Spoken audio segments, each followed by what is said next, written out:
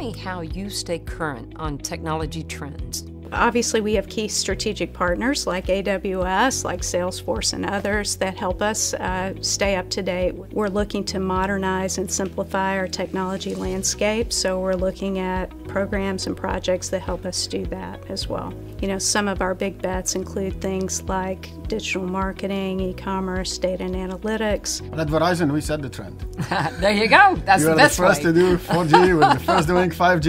Uh, but again, to uh, in all fairness, um, we all in, uh, into technology. So there are multiple avenues we stay into technology. One, where I'm on, I'm on multiple kind of uh, advisory boards. So that's how you can connect with different partners and you can see what's happening in the industry. Also today we have this, um, I have the Center of Excellence for Emerging Technologies. We have uh, regional meetings that uh, we conduct uh, on a regular basis, uh, you know, to learn from each other and try to, to develop our skills.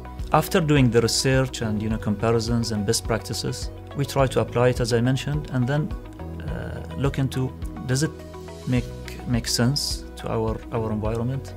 Can it solve a real problem that we have? in order for them to go out and be able to solve these problems, they need to understand what solutions are out there. So Right. we try to bring in vendors um, that we work with to say, show us what's possible. They need to be able to speak intelligently to our agency customers about what each of these do. You know, the product teams obviously they often know more about what's happening than we do. It just depends on the Yep. topic. um, I think we work hard to keep our, our business line leaders, our CFO and our COO, informed of what's happening. Try to offer them commentary.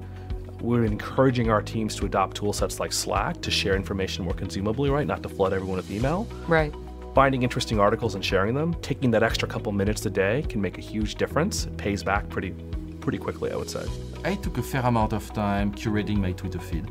So I follow quite a lot of people, you know, VCs and Yep. leaders, etc., that are inspiring. And, and Yep. I think Twitter has actually is a pretty good way of sort of knowing what's around, getting tidbits of information, you know, food for thought, etc. Yep. That said, look, there's a lot of buzzwords out there from digital to Yeah. cloud to this, that, and the other. Uh, I'm a bit of a cynic about all those words. Our technology mission is to provide world class uh, technology to support world leading science. So this is like right now, like we're looking at AI, ML, at machine learning, at RPA, at uh, at uh, blockchain, um, and virtual assistants. So these are all technologies that are ripe, and right now, where you- this is where you put like rocket fuel behind these technologies and start to leverage it uh, to make a bigger impact for our customers. We created a team called Business Engineering because we believe there are no IT projects, there are only business projects with an IT component.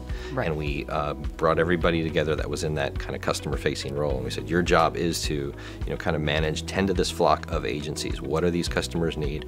Where are they struggling? What's coming up? What are they thinking about? And how can we help? And if we don't make a dollar helping them, that's fine as long as we're solving problems for them, helping them get better technology. We talk very much in the primitives of IT. You know, at the end of the day, IT can be broken down into you can compute things, you can store things in memory, you can store things in longer term storage, and you can move things around. Right. Uh, and at the scale that we operate it at, uh, and the kind of reach that we've we've got, the kinds of conversations that we have at enterprise level with Amazon really talk about those things much more than stacks.